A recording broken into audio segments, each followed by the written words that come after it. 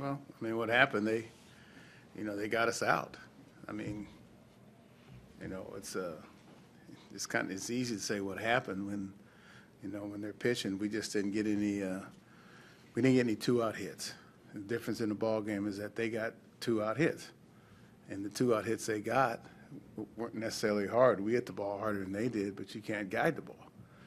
And, uh, I mean, that's, sometimes it's one of those nights when, when the ball's falling their way and it's not falling your way.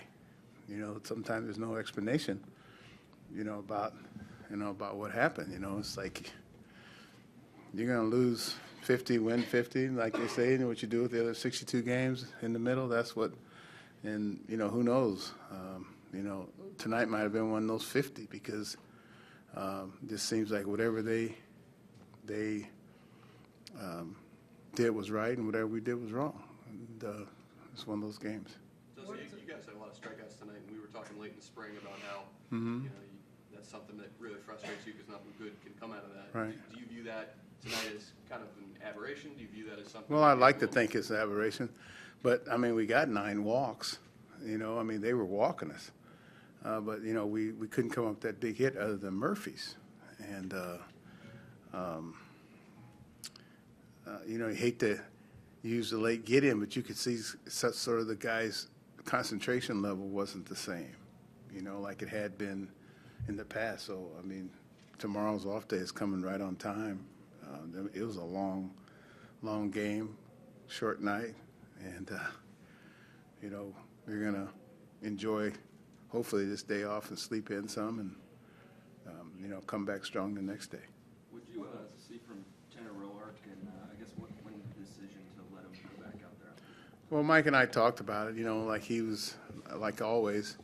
Um, you know, we were getting pretty close to when it was going to be too long, and but he was throwing in between, in the bullpen. Um, and I asked him. I says, "Hey, man, you tell us the truth. How you feel? If you feel any tightness or anything?" And uh, and he says, "Yeah, um, no, I'm not." And he says, "I'm telling you the truth." And he said that uh, it's too early, which I concur is too early for heroes in, in game number three. And so, uh, you know, you got to take him at his word. You know, he's a pretty honest guy, and Mike evaluated, and I evaluated, and decided to, to send him back out there. So, Werth looks a little bit in between the plate the 1st Mhm. couple games.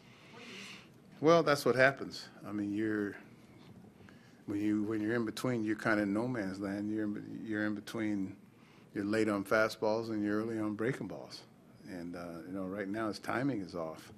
And um, I mean, he's frustrated because I can see it in his face. But we're all frustrated. But you know, we played three games. You know, and uh, uh, you know, three games. I mean, all you need is a couple good games, and then you're right back back on top, especially early in the year like this. So, um, you know, I was hoping that you know he'd have a big game tonight, and so we're just gonna put him back out there tomorrow or Friday.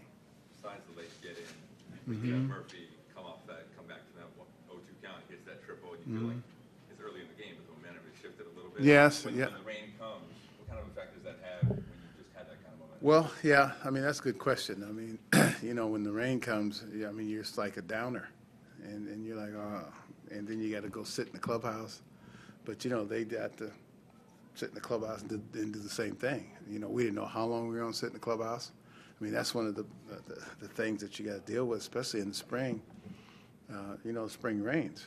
You know, and um, you know adverse weather, and. Um, so you got to deal with it. Like I said, these guys, I think they're they're pretty used to it because I didn't hear anybody complain or uh, anything about about the weather or, or, or rain delays. I mean, these guys are, you know, you know, a very good bunch about not complaining because I really don't want to hear it anyway. And so, but uh, you know, these guys aren't aren't big complainers. And like I said, sometimes, you know, sometimes uh, you lose and sometimes you get beat. And, and tonight, I think we got beat.